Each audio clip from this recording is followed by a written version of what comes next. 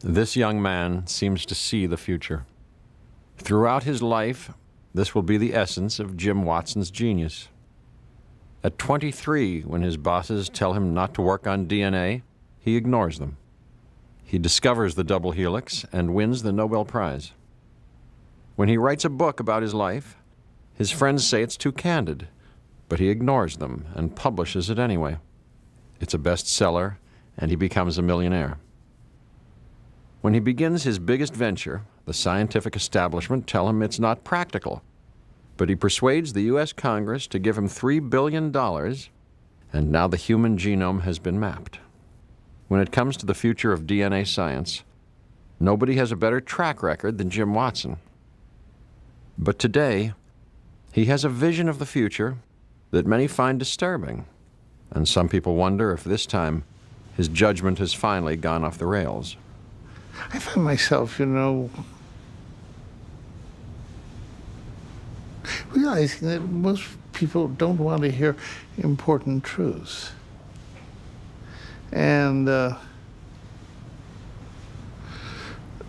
so, for the most part, I don't try and annoy people. But some occasions, you just feel someone has to get up and say what you think. And that offends people.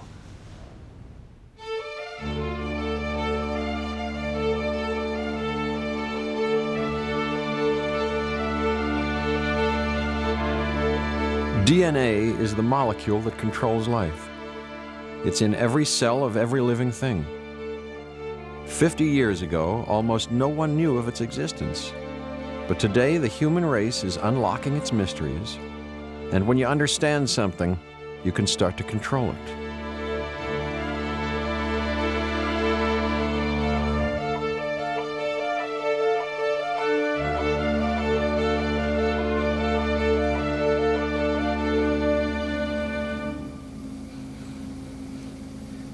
DNA scientists are moving ever closer to the day when genetically engineering people becomes possible.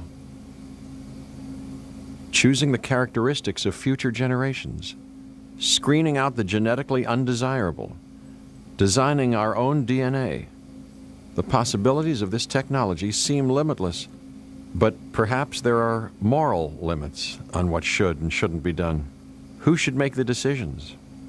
Where do you draw the line? We asked Jim Watson for a guided tour of the future, a look into Pandora's box with the person who opened it. We begin here at the world's leading producer of genetically modified foods.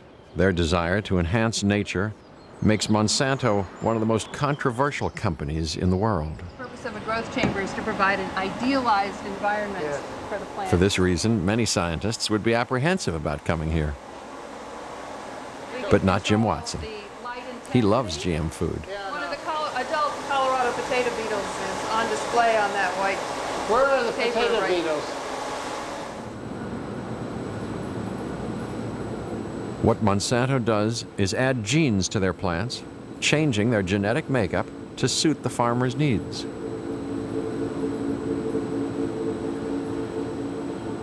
We have here uh, two cotton plants. This is what a cotton plant would look like in the old days, sick and diseased, and uh, there's nothing you want to see here. A, and here's one which has been genetically engineered to uh, produce this protein which absorbs the insect guts and kills it, and kills it quite fast within a day or so. This is a perfect plant. and if you wanted, you know, an insect-dominated world, this is it. Uh, but this is, a, you know, rational man's dominated world. And uh, to me, this is the future. What Watson knows is that what has been done in cotton and corn could one day be done in animals and people. But even Monsanto draws a line here. Okay, so they're not trying to do transgenic animals. No, we, uh, we, we In fact, they've made a series of public pledges about things they will not do. Just plants. And we won't put animal genes in plants. It, uh, it obviates the problem of is it still vegetarian or not? Oh, Jesus. Fortunately, bacteria have plenty of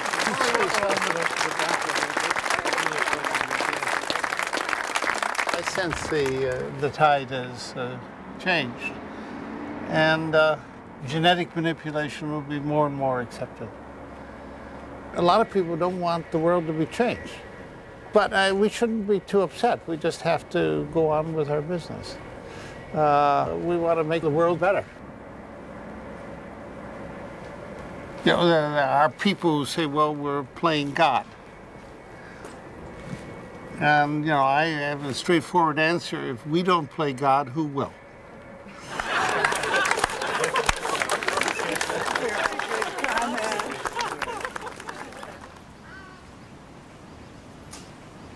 Watson has turned this picturesque harbor on the coast of Long Island into one of the world's leading genetic labs, Cold Spring Harbor Laboratories, of which he is president.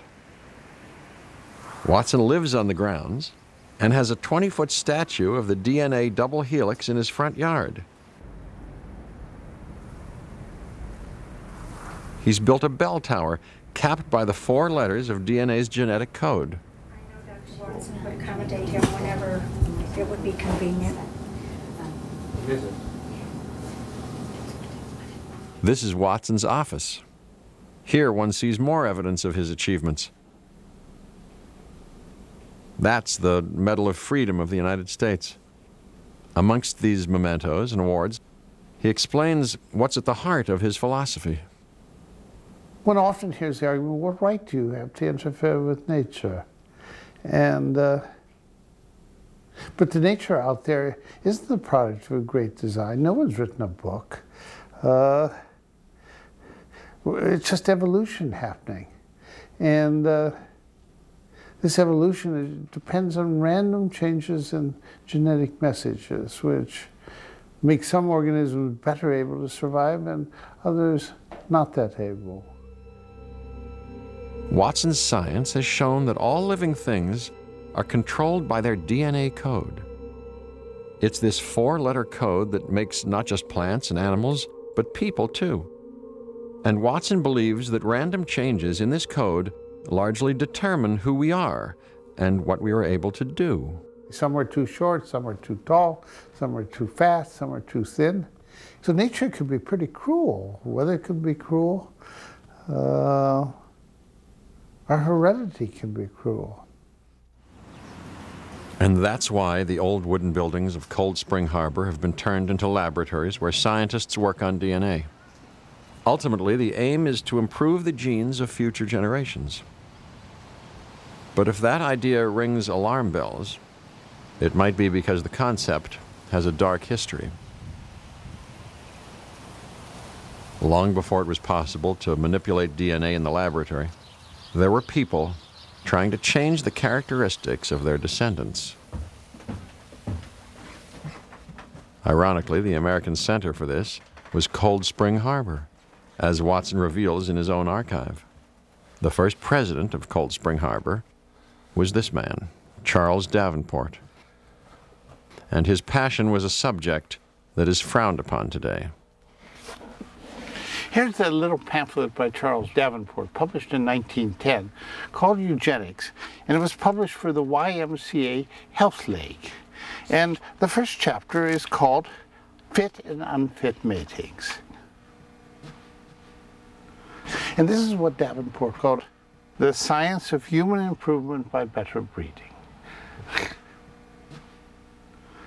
uh, eugenics world had uh, booths at agricultural fairs in which you didn't display uh, uh, prize sheep, but you displayed prize families. And now it seems uh, pretty ridiculous when you look at the pictures. You can't really understand why anyone would call these prize people. The idea was uh, if someone had a mental disease in the family, uh, you didn't want to marry into it. So people hid mental disease. you wouldn't want to admit that your aunt was a bit wacky. The thing was the burden of the feeble-minded. Uh, who was going to take care of them? And uh, people began to try and look how feeble-mindedness moved through families. And at Cold Spring Harbor, uh, they set up the eugenics record station just to do masses of pedigrees. They were going to prevent the unfit from uh, taking over the world. Here's a, an apparent five-generation family uh, where feeble-mindedness just runs through the thing, and you can see here F, F, F, F, F, and uh, uh, I wonder how many of these kids went to school, or under what conditions, and how they were tested, and who said this. But this was the sort of thing which affected social policy. The legislatures, who really didn't understand the science or the, the strength of it, passed laws to uh, sterilize the unfit. Incredibly, as a result of Davenport's eugenics, 40,000 women were forcibly sterilized in the United States. Watson thinks he has an insight into how that could have happened. Most people now don't remember when there were the massive mental hospitals uh, throughout the country, throughout, in fact, the uh, civilized world. There was no treatment for mental illness. The people went into them, they never left. And uh, uh this was, you know, eugenics was, I think, the response to these large hospitals. This makes Watson more forgiving of the early eugenics movement than most. It sounded like a good idea, and it wasn't. I don't regard Davenport as a, an evil man. By the end of his life, you can say he did dreadful science, and uh, they were sort of telling the people there was science behind it, and there wasn't science. There was just uh, some unfit people, and how do you handle it? In Watson's mind, this chapter of eugenics shows the harm that can be done when governments try to control the gene pool. As it turned out, enough people in America were against the policy and Davenport's work was stopped. By the time the 1930s arrived, many people effectively thought Davenport had lost his bonkers. You know, eugenics was just silly prejudice. Uh, unfortunately, as it lost favor in the United States, uh, Hitler came to power in Germany and uh, liked very much the ideas of the unfit, and uh, he wanted to get them out of German life. Watson has his own kind of eugenics, based on his DNA science. But he feels that people are prejudiced against it because of one other way eugenics was put into practice in the past. The Germans uh, and the Nazi government was their uh, aim to produce the pure Aryan race. Uh, broke the cardinal rule of civilization. Uh, thou shalt not kill. So people they thought genetically inferior, uh, they killed. The name of genetics they killed. And so, uh, in the public eye, we will always be identified with uh, uh, the Holocaust. Now here's the Reichstag.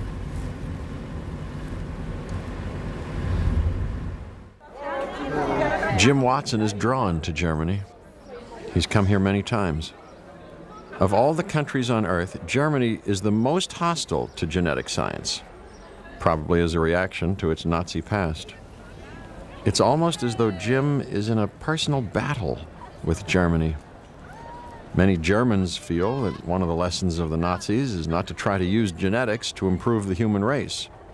But Watson feels they need to come to terms with their past and then move on to embrace the new genetics. He says the idea that people are the result of their genetic code is a truth that cannot be ignored. When I walk down the street and think about my fellow human beings, I see all of them as products of that script. Uh, that, but the products of several billion years of evolution, where the script has become more and more refined, so it finally says human being. Uh, the imperfection is not any grand design. Uh, it's just a mistake. The scientific evidence on this is compelling. Already it's been shown that a single letter mistake in the genetic code causes diseases such as cystic fibrosis and thalassemia. And it looks like multiple mistakes cause complicated mental illnesses like schizophrenia and manic depression. Throughout history, such people have been discriminated against for something that Watson sees as just the result of a bad roll of the genetic dice. There's no design. These humans have no chance of really competing with most other humans. So what do you do with the unfit?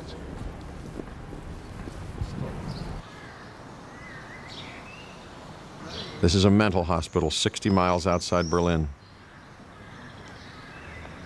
The place where the eugenics from Cold Spring Harbor was taken a stage further.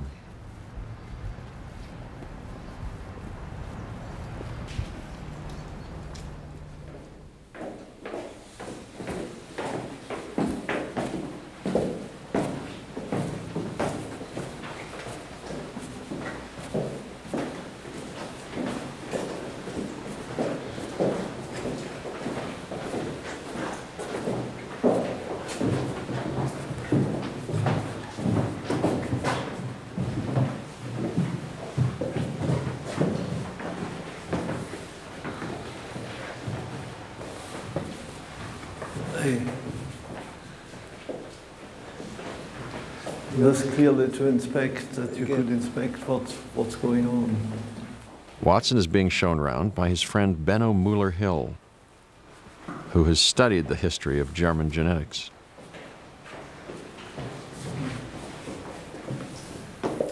And that's right here.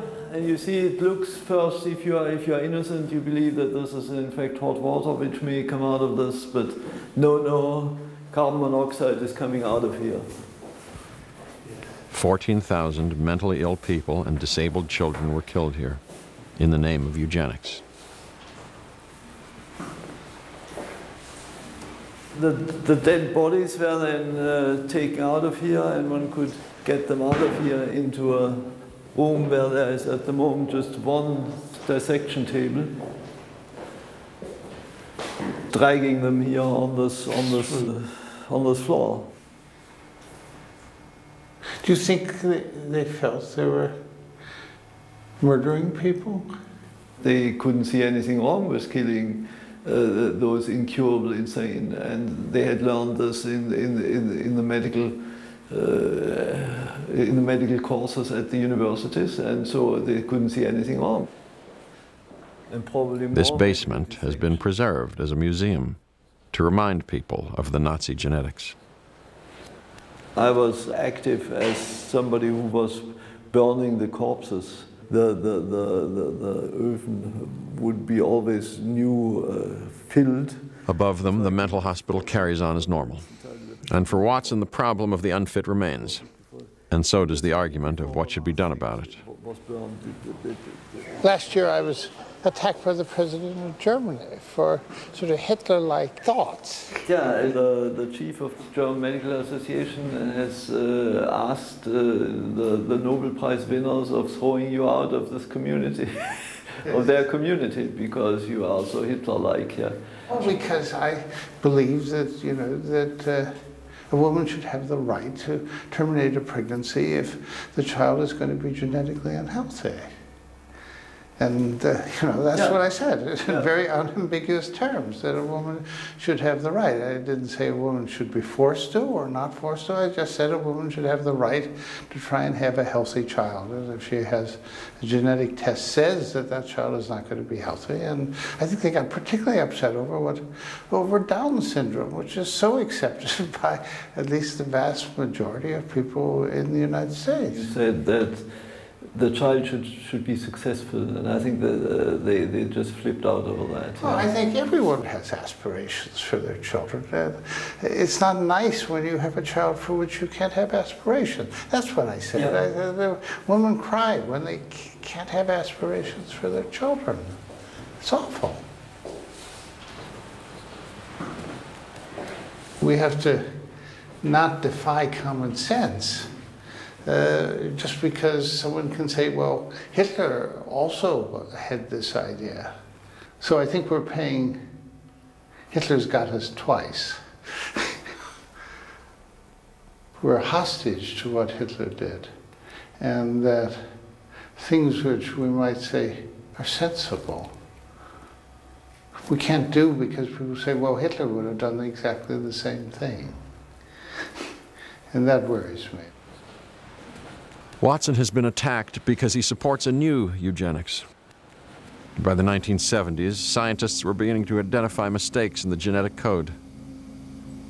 Since then, pregnant women have been offered tests to see if their unborn child has a genetic defect like cystic fibrosis or Down syndrome.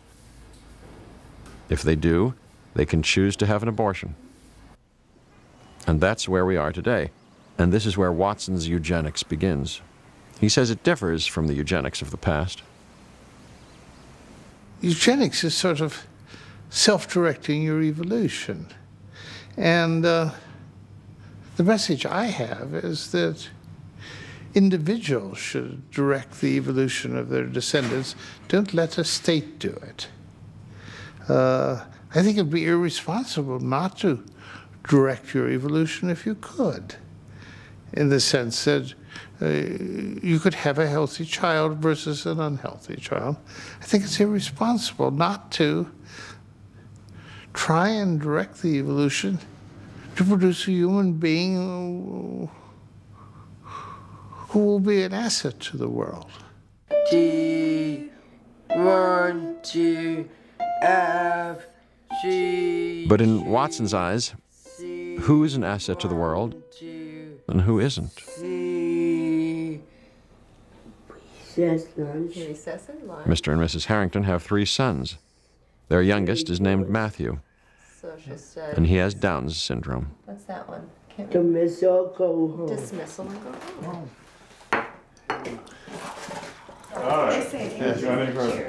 She goes.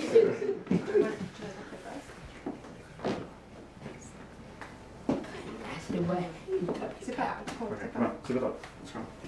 What you echo? Come on, echo. No. All of my pregnancies, we never had any genetic testing done with any of the boys. Uh, I didn't even occur to me there was a reason to do it. We just figured we were ready to have a family and we would have a family. Sure. Um, first son was born at the birth center. Peter was born at a hospital because I was overdue. Sure. Uh, Matthew was born at the birth center, and we didn't know anything until he was born. Uh, we found out right away that he had a, a heart condition. And I noticed some different things about Matthew. I noticed I kept commenting on his eyes, and I kept kind of feeling the back of his neck. So I think somewhere down inside, I knew there was something, although we hadn't been told yet. Yes. Um, and it wasn't until the next day when we went to the pediatrician that she told us that he had Down syndrome. If you were pregnant again, would you test yourself? No, I don't think I would. I think that there, are two, there would only be two reasons to do it, and one is to prepare yourselves and inform yourselves of whatever might be helpful if you Yeah. have a child with a disability, Yeah. and the other reason would be to decide not to follow through with the Yes. pregnancy. And um, I, for us, we were having a baby, and that was all it was about. But the Harringtons are concerned that people like Matthew are becoming rarer and rarer. Hundreds of thousands of women worldwide take the test for Down's syndrome. The vast majority who test positive have abortions. For Watson, this is the only way we have to eliminate the disease. For the Harringtons, it's the elimination from society of people like Matthew. So they ask that people think twice before making these decisions. On Sunday, he and I go to the beach. And we've been doing this for four or five years. He and I go out into the water. And it's a calm day, I hold his hand. If it's a, it's a slightly wavier day, I hold him. And, and, you know, he holds real tight and we jump over the waves. And, and, and then he goes in and sits on the shore and, and I ride a few waves in. He likes to grade me. Uh, but the two weeks ago, three weeks ago, on, on our last trip out uh, uh, this fall, we went into the water, and it was a pretty calm day. We were about up to our chest, and my chest. I was holding him, and, and all of a sudden he asked to be let go, and, and I let him go. I mean, he's become quite comfortable in the water.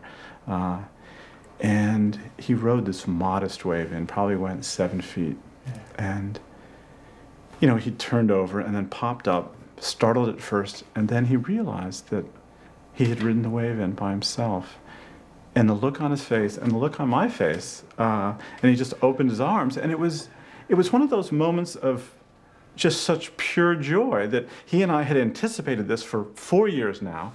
He realized he had achieved this, and I realized I had achieved it, and I didn't think, is he doing this before other kids do it his age? It was just, it was just the accomplishment that we shared together that I think is just, it's something that I have with him that, um, you know, I wish more people that were considering life choices could could feel that, uh, could see that, could could realize that yes, the hurdles. There's a longer approach, and you approach it together. He clears them by himself, but but there is there's just a magic in in watching him do it. That that as your other kids zoom through their hurdles, uh, you might not appreciate in all the same ways. Um, uh-huh.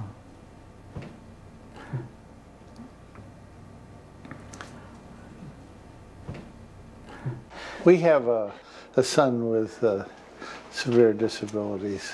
Um, he's very, very intelligent, but he can't take care of himself. And uh, so he was, uh, didn't speak till he was four, very late, which, you know, we thought didn't mean anything, but it did mean something, and uh, doesn't like to uh, shake hands or be hugged.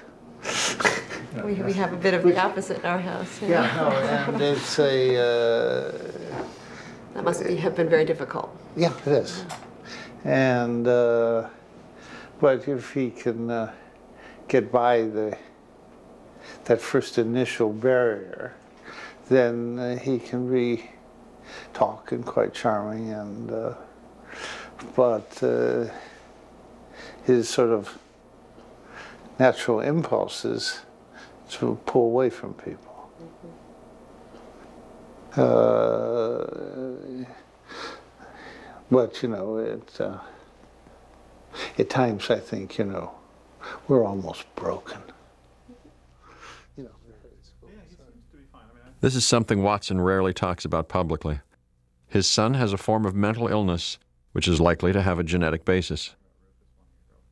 When it comes to faults in DNA, almost everyone on Earth is touched in some way.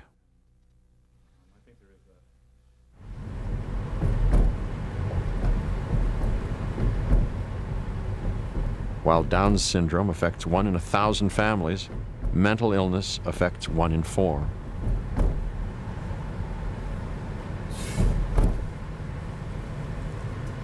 This is Pilgrim State Hospital.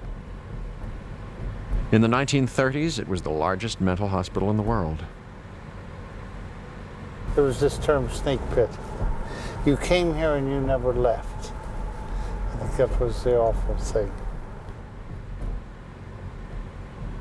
Not far from Cold Spring Harbor, it's the kind of place that motivated Charles Davenport's eugenics. I find this very creepy. I just would like these buildings to be torn down. You can think of all the all the sorrow and agony.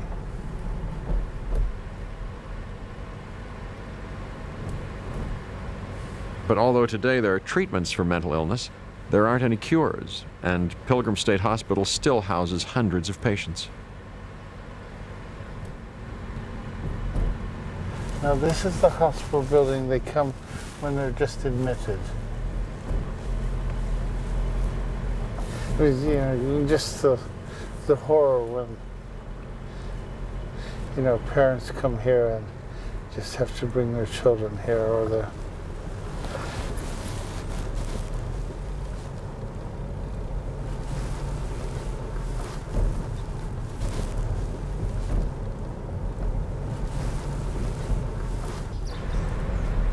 we still don't know what's wrong with the people at that. Uh, you know, you can say uh, when you know cystic fibrosis, you know that uh, you know, there's a gene missing, But in mental disease, we don't have, we haven't found one gene yet where we can really say what's wrong.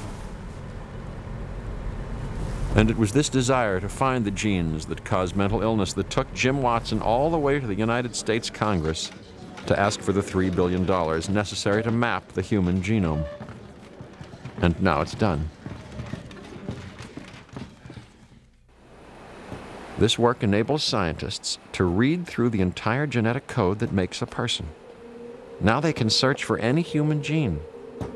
They're moving beyond simple genetic mistakes that cause Down's syndrome and cystic fibrosis to more complex traits. They will pinpoint the genes responsible for everything in our nature, whether we're likely to be gay or straight, fat or thin, suffer from depression, or have a high IQ. And recently, the first gene involved in mental illness has been found. But this opens up another set of moral dilemmas. Should prospective parents be given this kind of information about their unborn child? And where do you draw the line?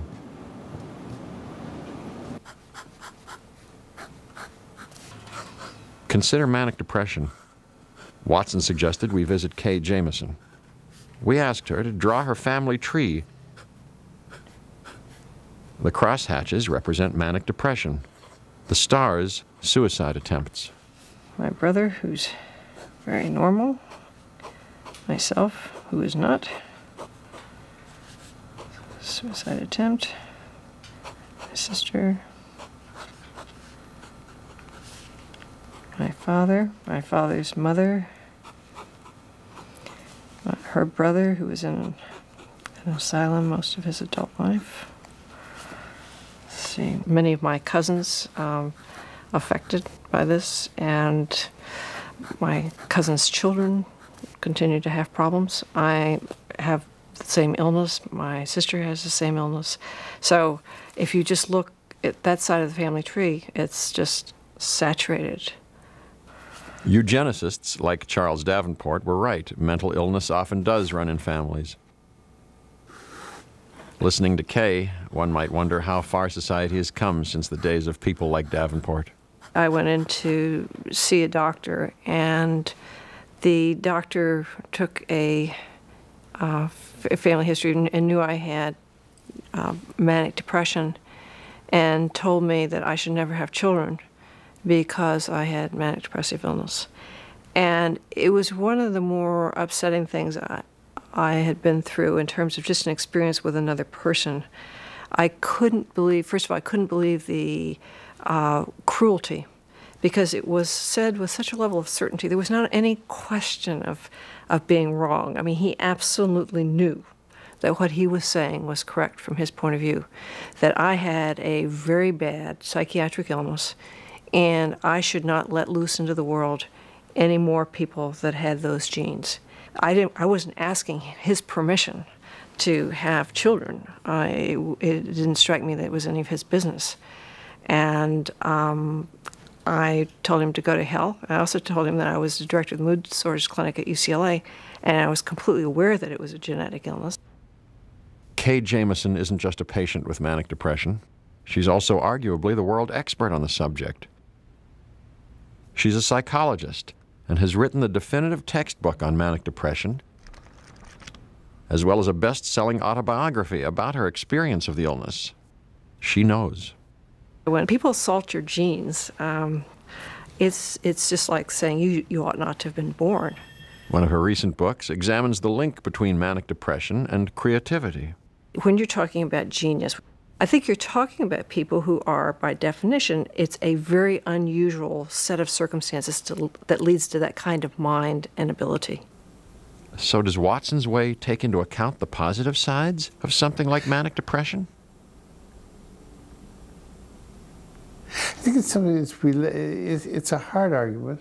Uh, if you wanted to say, well, what percentage of human creativity is associated with manic depressive illness?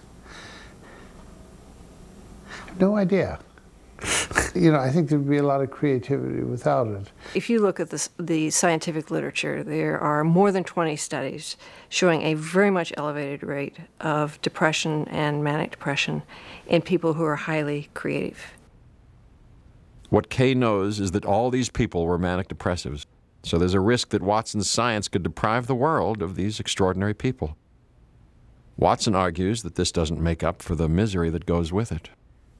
This is sort of saying uh, what's more important, what's good for the country or what is good for the individual. And uh, my way was always asking what's good for the individual. I mean, uh, you know, someone would say, well, our society would be greatly impoverished if there were no homosexuals. But would you make someone be born homosexual because uh, they're good for society, knowing uh, the difficulties it's likely to impose in their lives? Uh, I certainly wouldn't use that argument. I, uh, know, I would go back to it. I don't see how you could decide the answer. And best to let parents decide. Uh, I think most families that have manic depressive disease would decide to have children without it. So that's about all. You know, it's a terrible curse. I think that parents will be diverse in what they choose.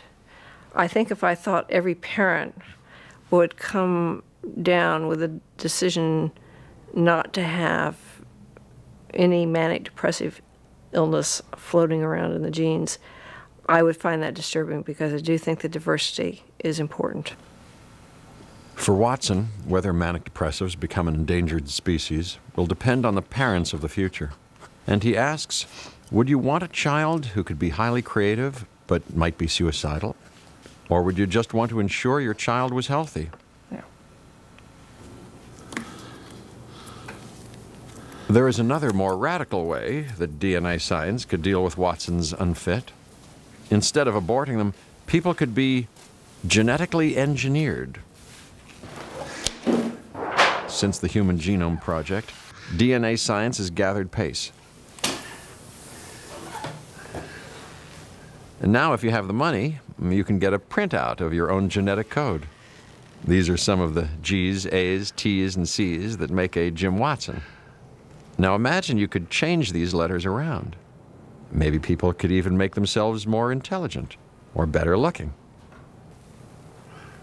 But should science be used in this way? This is what the scientists call the question of enhancement.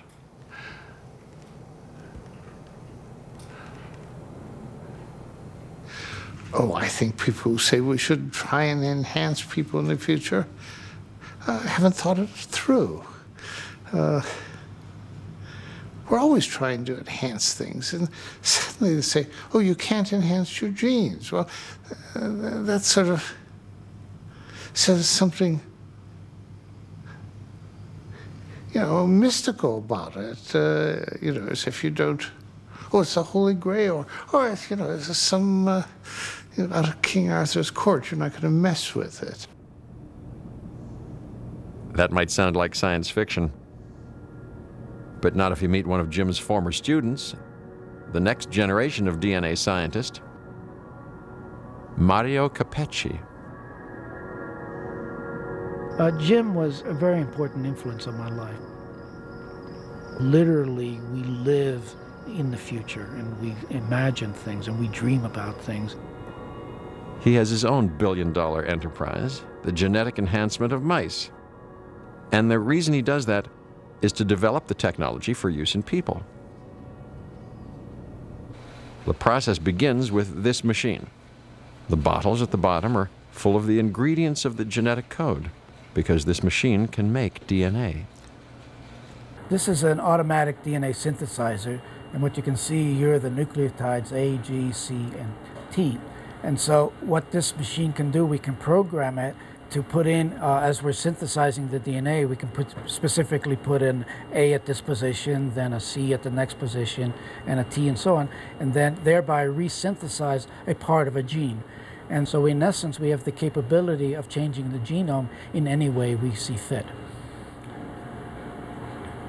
He then has another machine that incorporates the new piece of DNA into the mouse cell. And we put an enormous voltage jump on this, and in the process, what happens is that the uh, little holes are opened up in the cells, and the DNA slips into the cells and then goes into the nucleus and then participates in making the DNA of the mouse. In this way, he can change the mouse embryo when it's just a small cluster of cells, and then observes how the new DNA affects the way the animal forms. Will it affect the growth of cells? Will it affect making particular bones, or will it affect making the muscle or the tendons in that uh, in that limb, or will it affect all of those? This is one of the best ways to study what specific genes actually do. He sees how the new DNA affects the embryo, how it changes the adult mouse, even how it alters the mouse's offspring as the change is passed through generations. This mouse has had a gene switched off so it cannot move its face muscles. It cannot blink. Now that might sound cruel, but Mario Capecchi does this because there are children who are born without the ability to move their face muscles, and his research is designed to look for a cure. The amount of knowledge that we get by studying the function of a gene in a living organism is enormous. I mean, uh, most of our previous knowledge, we, had, we were off completely as to what a gene is doing in a living organism. And the only way to find out is actually to alter it and see what happens. Genetically, uh, mice and humans are almost identically. That is, the 99.9% uh, of all the genes in a mouse and a human are going to be the same. So whatever actually we learn in a mouse is going to be directly applicable to humans. The technology that he's using to do this could have another application. Just as Dolly the sheep has opened the door to human cloning, Mario's mouse shows the way towards human enhancement. But if the technology were to be used in this way, would science have crossed the threshold of what's acceptable? Most agree that Mario's work should be used to cure illness, but many question trying to use it to make us more intelligent. However, Watson doesn't see a clear distinction between the two. By saying healthy, your brain is also healthy. And if you really are stupid, I would call that a disease. Stupidity is, you know, a disease of the brain. The lower 10% who really have difficulty, you know, even in elementary school. What's the cause of it? Uh, a lot of people would like to say, well, it was, you know, poverty and things like that, but it probably isn't. And uh, so I'd like to get rid of, you know, help that lower 10%. Does Watson draw the line anywhere? How about more cosmetic changes, making people better looking? You know, everyone's saying it would be terrible if we made all girls pretty. Okay? well, I think it'd be great. And it's those kind of comments that make some people think that Watson's judgment has gone off the rails. They argue it would be crazy to make such changes to our DNA, lumbering generations to come with our current cosmetic preferences.